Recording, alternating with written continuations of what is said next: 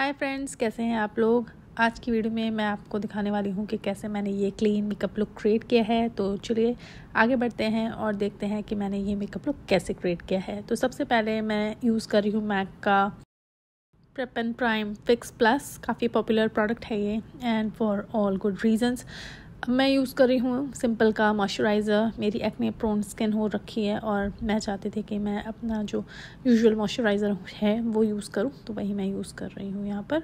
आप अपने पसंद का कोई भी मॉइस्चराइज़र यूज़ कर सकते हैं जो आपकी स्किन को सूट करता हो. अच्छे से हम अपने स्किन को मॉइस्चराइज़ कर लेंगे और अब मैं बढ़ रही हूँ एक फेस प्राइमर जो कि पोर्स को फिल करता है, उसे यूज़ कर रही हूँ. यह है मेबलिन का प्राइमर इसमें अपने चीक्स के पास लगा रही हूँ क्योंकि वहाँ पर काफ़ी बड़े पोर्स हैं। ये प्रोडक्ट पोर्स को फिल करने के लिए यूज़ कर रही हूँ मैं। ये सिलिकॉनी टेक्सचर का प्राइमर है। मैंने जो भी प्रोडक्ट्स यूज़ किए हैं, ज़रूरी नहीं है कि आप भी वो प्रोडक्ट्स यूज़ करें। आप अपनी स्किन के हिसाब से प्रोडक्ट्स को यूज़ करें। और अब हम आगे बढ़ते हैं। मैं यूज़ कर रही हूँ स्विस ब्यूटी का फेस, मेकअप बेस और इसे मैं अपने स्किन पर अच्छे से अप्लाई करूँगी। ये वाइटिश दिख रहा है। इसमें एकदम फाइन शिमर पार्टिकल्स हैं। ये स्किन पर बहुत ही अच्छा दिखता है और ग्लोई लगती है हमारी स्किन इसलिए मैं ऐसे अपने फाउंडेशन को अप्लाई करने से पहले अप्लाई कर रही हूँ। यूजुअली मैं ऐसे मेकअप बेस प्रोडक्ट्स को अपने फाउंडेशन के साथ मिक्स करके भी यूज़ करती हूँ। अब मैं ये ब्रश जो कि मैंने अमेज़ोन से परचेज़ किया था, उसे यूज़ करके प्रोडक्ट को अच्छे से स्प्रेड कर रही हूँ। आपको अगर ब्रश यूज़ नहीं करना है तो आप अपने फिंगर्स को भी यूज़ कर सकते हैं या फिर डैम्प स्पंज भी यूज़ कर सकते हैं। अच्छे से मैं प्रोडक्ट को स्प्रेड कर रही हूँ। ज़्यादा प्रेशर ना अप्लाई किया करें जब भी आप ब्रश को यूज़ कर रहे हों या फिर डैम्प स्पंज को यूज़ कर रहे हों। आराम से करें काम। इसके बाद मैं ये वाला फाउंडेशन यूज़ कर रही हूँ, जो कि है मेबलिन का Fit Me foundation in the shade three ten sun beige और इसे मैं यूज़ कर रही हूँ ब्रश की मदद से।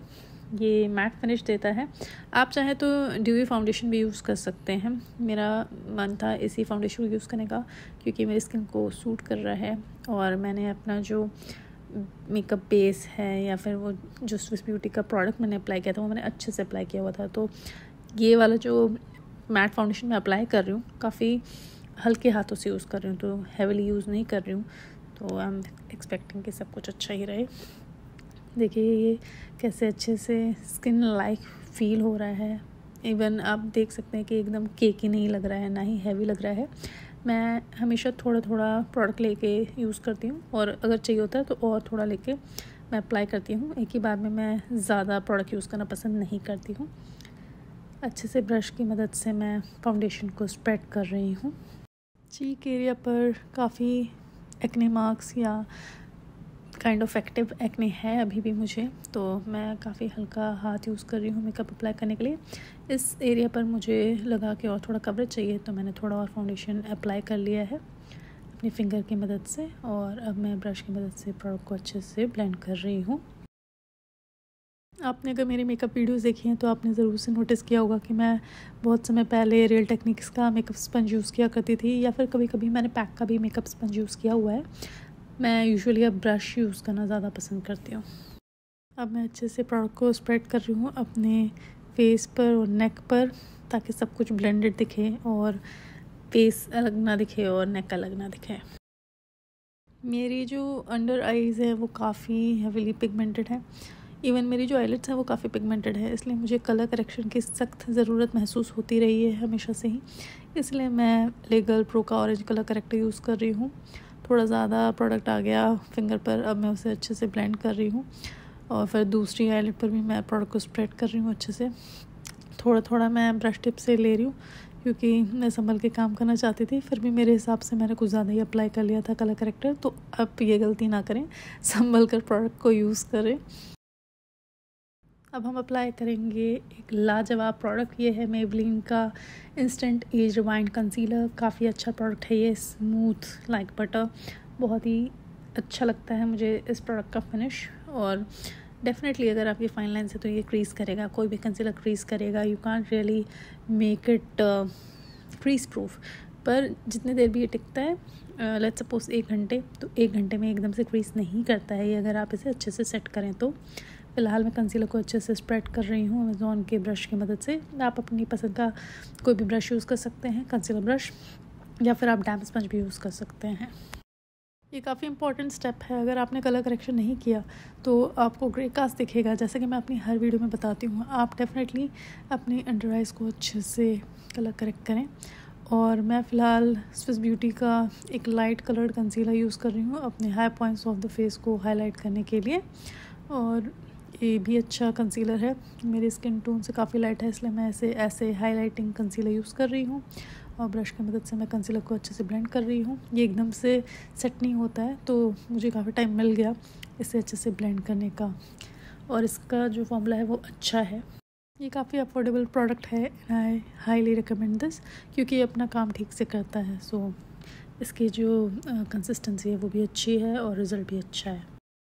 क्योंकि अब मैं इसे रेगुलरली यूज़ करने लगी हूँ तो मुझे ये प्रोडक्ट अच्छा लगने लगा है फॉर डेली यूज़ अब हम आगे बढ़ते हैं और कॉन्टोरिंग की तरफ़ बढ़ते हैं। तो आज मैं एवॉन का मोका लिपस्टिक यूज़ कर रही हूँ एज अ क्रीम कॉन्टोर पता नहीं, आज मेरा मन कर रहा था क्रीम कॉन्टोर करने का। तो अपने चीक बोन्स को मैं चिजल आउट कर रही हूँ इस प्रोडक्ट की मदद से। देखिए कैसे इंस्टेंट इफ़ेक्ट दिख रहा है। और जी हाँ ये सेम ब्रश है जिससे मैंने फाउंडेशन अप्लाई किया था। Multipurpose brush right you can use any other fresh और क्लीन ब्रश तो मैं अच्छे से अपने चीक बोन्स को चिजल आउट कर रही हूँ इस लिपस्टिक की मदद से। तो आप सोच रहे होंगे कि मैंने इस लिपस्टिक को क्यों चूज़ किया कॉन्टोरिंग के लिए? क्योंकि इसके अंदर ग्रे अंडर टोन्स हैं और मेरी स्किन टोन के हिसाब से ये कलर परफेक्ट कॉन्टोरिंग शेड है। और अब मैं फोकेलर का फेस पैलेट यूज़ करने जा रही हूँ। इसमें जो पाउडर कॉन्टोर है, उसको यूज़ करूँगी मैं कि क्रीम कॉन्टोर को सेट करने के लिए काइंड ऑफ़ सेट करने के लिए। देखिए, अभी इसे हल्के हाथों से मैं अप्लाई कर रही हूँ जहाँ पर मैंने क्रीम कॉन्टोर को प्लेस किया था और ब्लेंड किया था। ऐसा फ़िश फेस बनाना एकदम मैंडेटरी नहीं है। बस मेरा मन कर रहा था ऐसा फेस बना के कॉन्टोरिंग करने के लिए ताकि मेरी जो डबल चिन है उसे मैं देखूँ और अपने जॉ लाइन को चिजल आउट करूँ। That's the reason why I made that face okay okay we are done with this process अब हम आगे बढ़ते हैं और अब मैं यूज़ कर रही हूँ मेबलिन का Fit Me loose powder in the shade medium और मैं यूज़ कर रही हूँ एल्फ का ये स्पंज इसे मैं यूज़ कर रही हूँ अपनी आई एरिया पर, अपने कंसीलर को सेट करने के लिए और अपने अंडर आइज़ पर मैं इस लूज़ पाउडर को अप्लाई कर रही हूँ और अपने आईलेट्स पर भी लगाए हुए कंसीलर को मैं अच्छे से सेट कर रही हूँ। एज़ यूजल मैं काफ़ी कम प्रोडक्ट पिक कर रही हूँ स्पंज की मदद से और उसे मैं अपने आई एरिया पर अप्लाई कर रही हूँ ताकि कंसीलर अच्छे से सेट हो जाए और क्रीज ना करे। अगेन मैं आपको डेफिनेटली ये सजेस्ट करना चाहूँगी कि आप अपने कंसीलर को सेट करें।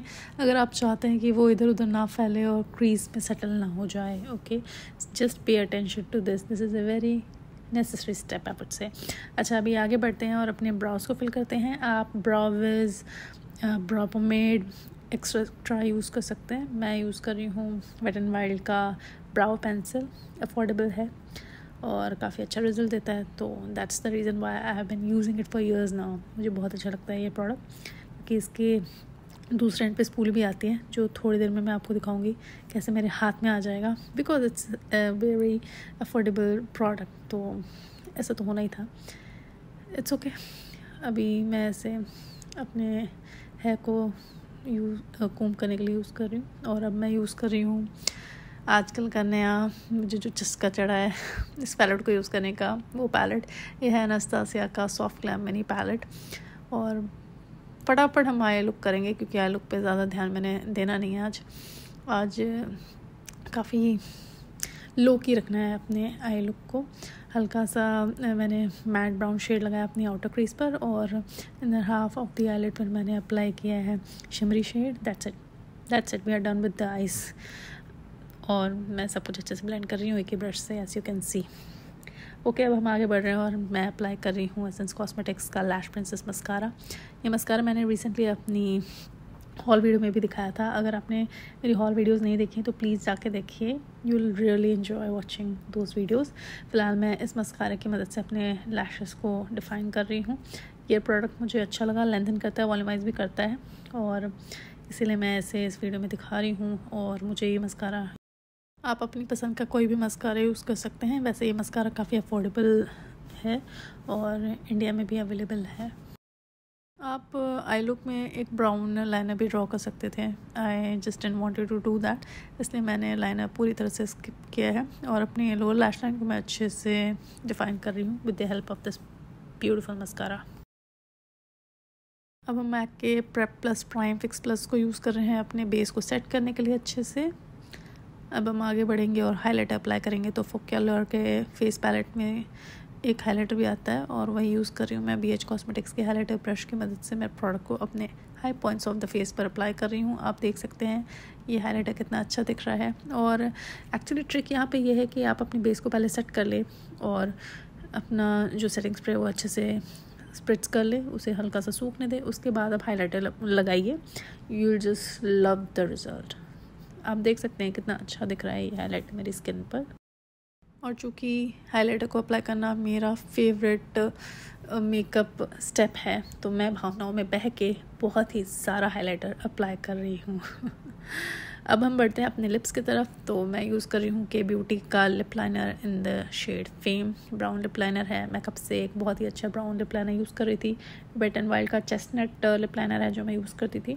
और उसके अलावा अब मैं ये लिप लाइनर भी यूज़ करना पसंद करती हूँ। अब मैं यूज़ कर रही हूँ कलर पॉप का ये लिपस्टिक जो कि वाइल्ड चाइल्ड कलेक्शन का हिस्सा है। और इसे मैं अच्छे से अप्लाई कर रही हूँ अपने लिप्स पर। अब मैं यूज़ कर रही हूँ के ब्यूटी का lipstick in the shade debut और इसे मैं अपने लिप्स पर अच्छे से अप्लाई कर रही हूँ too light in the lip shade ये लिप शेड बहुत ही प्यारा लिप शेड है. बाय द वे अगर आपने इसका स्वॉच नहीं देखा है मेरे यूट्यूब चैनल शॉर्ट्स पर तो आप प्लीज़ जाके उस वीडियो को देखिएगा. अब मैं एक ब्राउन कलर का लिप ग्लॉस जो कि कलर पॉप का सो जूसी लिप ग्लॉस है, वो यूज़ कर रही हूँ. एंड वी आर डन पहले मैंने इस तरह से अपना हेयर स्टाइल कर रखा था. मुझे अच्छा नहीं लगा तो मैंने अपने बाल खोल दिए. और आई नो कि क्लीन मेकअप लुक में आपका हेयर स्टाइल जो है वो बहुत मैटर करता है, पर पर मुझ पर ये खुले बाल ज़्यादा बेटर लग रहे थे ऐसा मुझे लगा, इसलिए मैंने अपने बाल खोल दिए। ओवरऑल मेकअप लुक जो है वो मुझे काफ़ी अच्छा लगा and I really hope you enjoyed watching this video Tata